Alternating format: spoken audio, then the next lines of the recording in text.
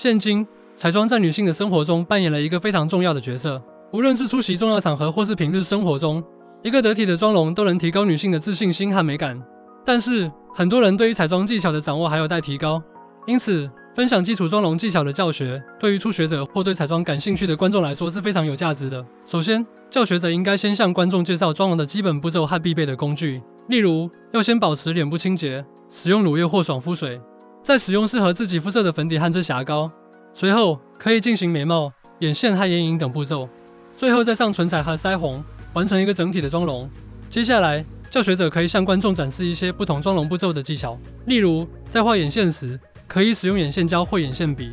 并学习如何在眼睑上勾勒出不同形状的眼线。另外，在画眼影时，可以学习如何使用深浅不同的色调进行搭配，突出自己的眼部特点。最后，教学者可以介绍一些彩妆技巧的小贴士，例如在使用唇膏前，可以先使用唇部磨砂膏进行去角质处理。以便唇膏更容易上色，在使用腮红时可以掌握好用量，避免腮红的颜色太浓或太淡。这些小贴士能帮助观众更好地掌握彩妆技巧。总体而言，分享基础妆容技巧的教学非常重要，能够帮助初学者或对彩妆感兴趣的观众了解妆容的基本步骤和技巧。这样的教学不仅能够提高观众的美感和自信心，也能够为彩妆爱好者提供更多的灵感和创造力。